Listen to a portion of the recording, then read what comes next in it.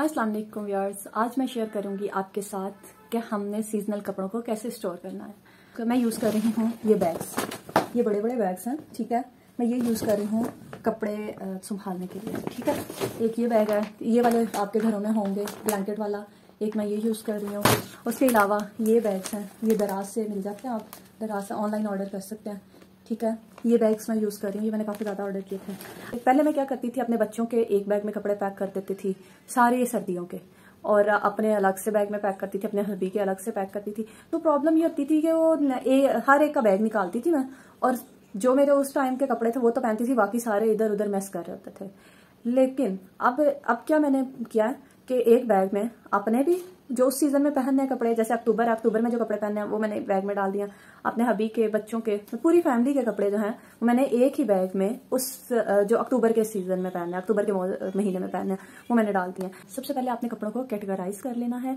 Categorise हमने कैसे करना है? उनकी कैटेगरीज कैसे बनानी है? कैटेगरीज इस तरह से बनानी है कि जो सख्त सर्दी में पहनने वाले कपड़े हैं, जैसे दिसंबर और जनवरी में जो कपड़े पहने जाते हैं, उनको आपने सेपरेट कर लेना है। जो नवंबर और फरवरी के महीने में पहने जाने वाले कपड़े हैं, उनको सेपरेट कर लेना है। जैसे पाकिस्तान है, पाकिस्तान में बहुत ज़्यादा सर्दी का जो टाइम आता है, वो आता है दिसंबर और जनवरी में। तो उस टाइम में वो कपड़े नहीं पहने जाते जो हम नवंबर में पहनते हैं। उस टाइम में जो कपड़े पहने जाते जाते हैं दिसंबर और जनवरी के महीने में, वो आपने सेपरेट कर लेना है, उनको आपने एक बैग में पैक करना है। जो नवंबर और फरवरी के महीने में कपड़े पहने जाते हैं ना, वो अक्टूबर और मार्च के महीने में नहीं पहने जाते। आप नोटिस करें, जब अगस्त है, अगस्त पाकिस्तान में गर्मी का ही मौसम होता है, इतना कोई, उसमें मौसम बहुत ज़्यादा चेंज नहीं हो जाता गर्मी होती है अगस्त में। सितंबर में भी गर्मी होती है। अक्टूबर में थोड़ा सा मौसम चेंज होता है, इतना सा चेंज होता है कि आप थोड़ा सा ना अपने लॉन के कपड़ों से कॉटन के कपड़ों पे या कैम्ब्रिक पे आ सकते हैं या जैकॉर्ड पे या क्या लें, रेशमी कपड़े पहन सकते हैं। सिर्फ़ इतना सा मौसम चेंज होता है, ठीक है? वो वाले आपने जो अक्टूबर के महीने वाले कपड़े हैं ना, वही कपड़े आपके मार्च के महीने में भी पहने जाते हैं। सेम सीज़न होता है अक्टूबर का और मार्च का ऑलमोस्ट सेम होता है, ठीक है? जो सर्दियों का सीज़न आना ना, छह महीनों का, उसको हमने तीन तरह से उन्हें कैटेगराइज करना है। एक जो अक्टूबर के महीने में पहने जाएँगे और वही अक्टूबर के महीने वाले कपड़े मार्च में पहने जाएँगे। जो कपड़े पहने जाएँगे नवंबर के महीने में, वही फरवरी में पहने जाएँगे। और जो कपड़े पहने जाएँगे दिसंबर के महीने में, वही हमारे जनवरी के महीने में चलेंगे। तो आपने क्या करना है? बैग्स लेने हैं। बैग्स मैंने आपको दिखाए हैं। बड़े बड़े बैग्स हैं मेरे पास। जो सीजनल कपड़े हैं, वो मैं पेटी के अंदर संभालती हूँ। अब इसमें कुछ लोग शॉपर्स में डाल के रख देते हैं। मैं सबको यही कहूँगी कि आप बड़े बैग्स लें, ठीक है? उनके अंदर अपने कपड़ों को स्टोर करें सेव करें।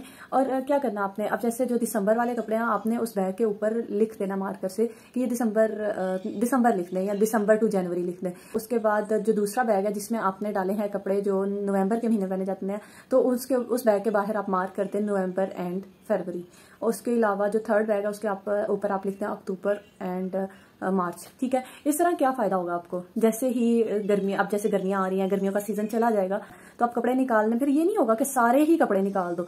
सर्दियों के कपड़ों का भी ढेर लग गया मोटे मोटे सर्दियों के कपड़े भी निकल आए हैं और दूसरे भी निकल आए फिर ऐसा नहीं होगा। और फिर आपको जो आप का रिक्वायर्ड मौसम के लिहाज से कपड़े होंगे ना, आप सिर्फ़ वो वाला बैग निकाल लें और आप वो यूज़ करें। वो एक या दो बैग होगा पूरी फैमिली का।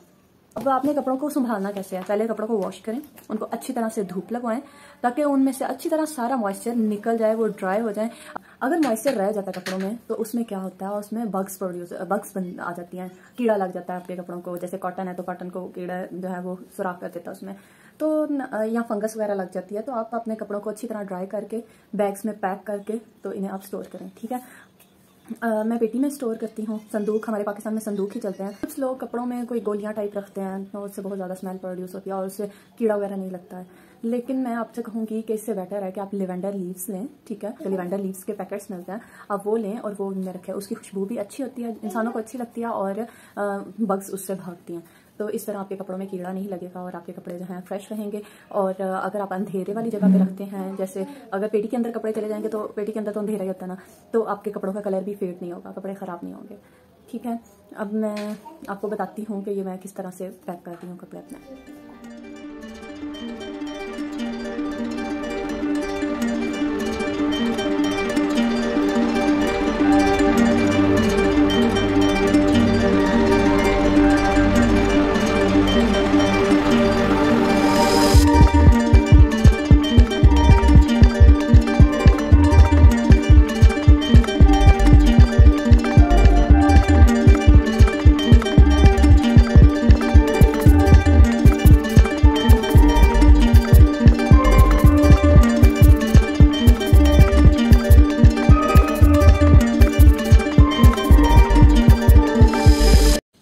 तो देखा आपने, मैंने किस तरह से कपड़े पैक किए हैं, जो मेरे दिसंबर और जनवरी में पहनने जाने वाले थे, वो पैक कर दिए हैं। जैसे मौसम थोड़ा सा चेंज होता है तो फरवरी का एक बैग तो मैंने पैक कर दिया है। लेकिन अभी इतना कुछ और भी कपड़े हैं, इसलिए मैं दूसरे बैग में उन्हें पैक करूँगी। और जैसे ही मार्च का महीना भी गुजर जाएगा तो फिर मैं मार्च वाले कपड़े भी पैक कर दूँगी। इसका मुझे क्या बेनिफिट हो रहा है कि अब मैं आहिस्ता आहिस्ता कपड़े पैक करके स्टेप बाय स्टेप संभालती जा रही हूँ।